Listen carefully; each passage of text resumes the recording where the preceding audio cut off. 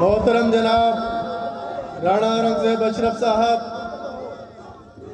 मोजिज मेहमान आने करामी, और मेरे हल्के, मेरे वसेब के, मेरे इंतहाई काबिल एहतराम भाइयों, बुज़ुर्गों, दोस्तों, अस्सलाम वालेकुम। भाइयों मैं आपका जितना भी शुक्र अदा करूँ कम है। मैंने अपनी ज़िंदगी में देखा है कि लोग कामयाब होकर आते हैं तो उनका इस्तकबाल किया जाता है। कोई एम एन ए बन के आता है, उसका उसका इस्तकबाल होता है। कोई वज़ीर बन के आता है, उसका इस्तकबाल होता है। हमारी तो हुकूमत चली गई है और मैं अपनी आवाम में वापस आया हूँ। लेकिन सलाम है आप लोगों को। मेरे भाइयों ऐसा इस्तकबाल जो आप लोगों ने किया जो आप लोगों ने मोहब्बत दी ये तो मैं जब वज़ीर बन के आया था तब भी ऐसा आप लोगों ने नहीं किया था। मैं आपकी मोहब्बतों का मकरूज हूँ तहे दिल से शुक्रिया अदा करता हूँ सलाम पेश करता हूँ।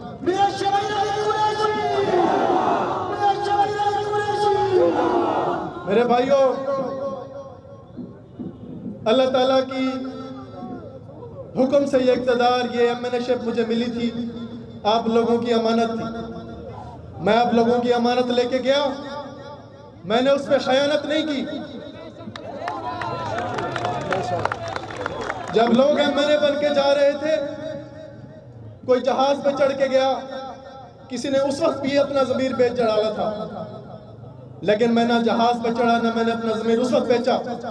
बल्कि जो मैंने अपने वादे लोगों से किए थे वही अपनी क्यादत के सामने रखे और साढ़े तीन साल उन्हीं के लिए कोशिश करता रहा। और अल्हम्दुलिल्लाह, बहुत हद तक उनको मनवाने में कामयाब रहा अल्हम्दुलिल्लाह। जिसमें आप लोग देखें कि यहाँ के दरीने मुतालबे थे, कोटादू को ज़िला बनाना, चौक सरवर शहीद को तहसील बनाना, कोटादू में एक नया अस्पताल बनाना, कोटादू में यूनिवर्सिटी बनाना, अल्हम्दुलिल्लाह, तहसील भी बन गई, अस्पताल का काम भी शुरू हो गया। यूनिवर्सिटी के फंड भी मंजूर हो गए। और और और जिला, वो भी मेरे कायद इमरान खान ने उसका फैसला कर लिया था, उसकी मंजूरी दे दी थी। अगर ये शब्द खून ना मारा जाता तो मैं आपको यकीन दिलाता हूँ, हलफ देता हूँ कि हमारा जिला बन चुका था इंशाल्लाह।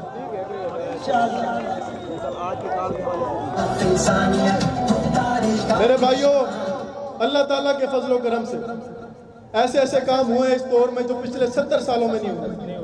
आपका पासपोर्ट ऑफ़िस बना, आपके हलकों में नादरा ऑफ़िस बने। नादरा ऑफ़िस अपग्रेड हुए। अरबों रुपए की सड़कें बन रही हैं, ढाई अरब रुपए की लागत से ढाई सौ किलोमीटर सड़कें। करोड़ों रुपए के बिजली के मंसूबे लग रहे हैं, गैस के मंसूबे लग रहे हैं। अल्हम्दुलिल्लाह, तरक्याती कामों का जाल बिछाया है पूरे हल्के में। जिसकी मिसाल पूरे इन पिछले सत्तर सालों में नहीं मिलती। इसके साथ साथ इसी तरह हमारी पार्टी ने पूरे जनूबी पंजाब में जो तब्दीली का वादा किया था, वो तब्दीली लेकर आए हैं। वजारत आला जनूबी पंजाब को दी। जनूबी पंजाब के फंड का तीसरा हिस्सा मुख्त किया। जनूबी पंजाब के सेक्रेटरीट का क्याम किया।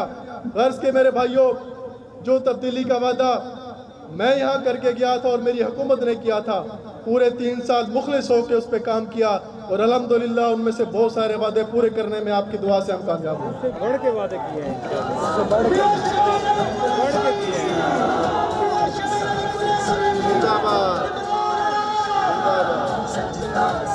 और भाइयों और भाइयों बड़े अफसोस की बात है। बड़े ही अफसोस की बात है। कि ये जो जमीर की मंडियाँ लगाई गई हैं, जो जमीर के सौदे होते रहे हैं, जो छांगा मांगा की सियासत जो दफन हो गई थी, बदकिस्मती से आज उसको दोबारा ज़िंदा किया गया। लोटों की सियासत, लोटे।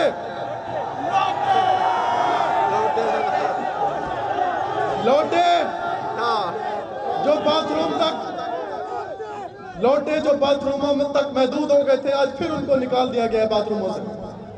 और उनको सिंध हाउस में जमा किया गया। बदतरीन वहाँ पे। ये जमहूरियत है। आप लोग जमहूरियत की बात करते हैं। सिंध हाउस में लोटों को इकट्ठा करना ये जमहूरियत की खिदमत है। किस मुँह से तुम लोग जमहूरियत की बातें करते हो? ये तो सरासर आइन की खिलाफ वर्जी है। तुम किस मुँह से जमहूरियत की बातें करते हो?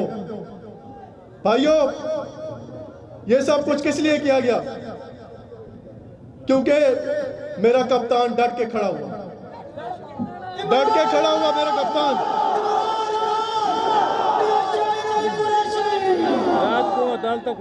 मेरे कायद के खिलाफ उस वक्त साजिश शुरू हो गई थी जब उसने कवाम मुतहदा में खड़े होकर ला इलाहा इल्लल्लाह का नारा लगाया था। मोहम्मद रसूलुल्लाह। जब उसने कवाम मुतहदा में खड़े होकर ला इलाहा इल्लल्लाह का नारा लगाया था और कहा था कि हम लड़ेंगे हम भारत की हर जारियत का मुँह तोड़कर मुकाब जवाब देंगे भारत को। जब उसने नामूस रसालत का मुकदमा लड़ा था, जब उसने उम्मत मुसलमान को इकट्ठा करने की बात की थी, मेरे कायद के खिलाफ साजिशें उस वक्त से शुरू हो गई थी। उस वक्त से वो तमाम साम्राज्य ताकतों को खटकना शुरू हो गया उसके बाद जब अफ़गानिस्तान से अमेरिका रुसवा होकर निकल रहा था, तब उनको ज़रूरत पड़ी दोबारा यहाँ पर अड्डे लेने की। और मेरे कायद से जब पूछा गया कि अगर अमेरिका को ज़रूरत पड़ी कि हम अफ़गानिस्तान में ऑपरेशन करें तो क्या आप लोग हमें अड्डे देंगे? तो मेरे कायद ने कहा था एब्सोल्युटली नॉट पाकिस्तान।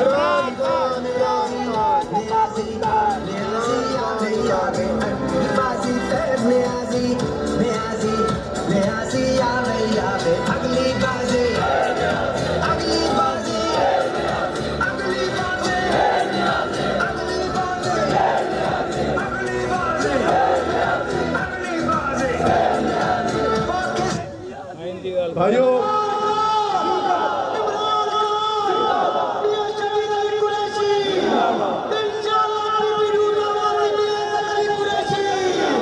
भाइयों वो आपने शेर तो सुना होगा कि जब भी कभी जमीर का सौदा हो है दोस्तों कायम रहो हुसैन के इनकार की तरह। भाइयों लोग इकतदार को याद नहीं रखते, लोग इनकार को ज़रूर याद रखते हैं। इकतदार इकतदार आनी जानी चीज़ है, लेकिन जब आप असूल पर डट जाते हैं, जब आप हुसैन के पैरोकार बन जाते हैं तो लोग आपके लिए निकल पड़ते हैं। आज सारा पाकिस्तान निकल आया। क्योंकि इमरान खान ने हमारे दिल की बात की है। हम चाहे जितने भी हमारा मुल्क गरीब हो। लेकिन हम आज़ाद पैदा हुए हैं इस मुल्क में। हमारे अबाओ अजदाद ने खून बहाकर इस मुल्क को हासिल किया है। वो इसलिए हासिल नहीं किया था कि अंग्रेज़ों की गुलामी से निकलकर हम अमरी- अमेरिका के गुलाम बन जाएँ। अमेरिका के गुलाम। अमेरिका के गुलाम अमेरिका के गुलाम। अमेरिका के गुलाम। अमेरिकी मेरे भाइयों मेरा लीडर हमेशा से ये कहता था कि मैं कभी अपनी सरजमीन को किसी भी दूसरे मुल्क के खिलाफ इस्तेमाल नहीं होने दूँगा। उसने अपनी पॉलिसी को सच साबित करके दिखाया। उसने रूस का भी दौरा किया।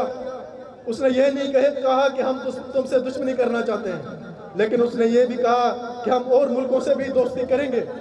उनसे भी बराबरी की सतह पर दोस्ती करेंगे, तजारत करेंगे। क्यों? क्या हम तुम्हारे गुलाम हैं? क्या हम ये नहीं कर सकते?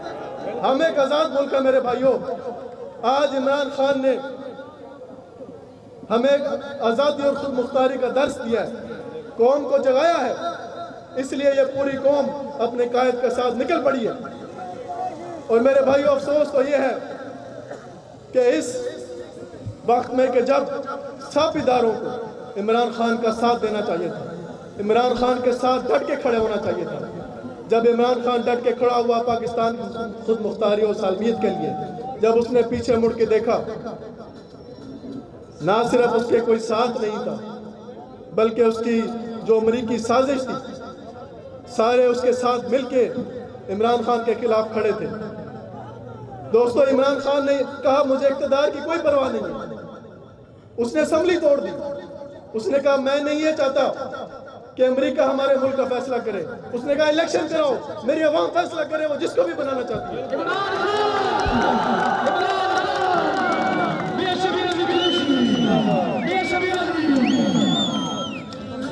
खुदार आदमी है। उसे इकतदार से, अगर उसे इकतदार की लालच होती तो वो जी हजूरी करता रहता और उसकी हुकूमत कायम रहती, कोई उसे ना छेड़ता। लेकिन जब उसकी हुकूमत जाने लगी थी उसने कोशिश की कि मेरे मेरे मुल्क का फैसला अमेरिका के हुक्म से ना हो। अमेरिका के पुट्ठू यहाँ पे, पिट्ठू यहाँ पे मुसलत ना हो।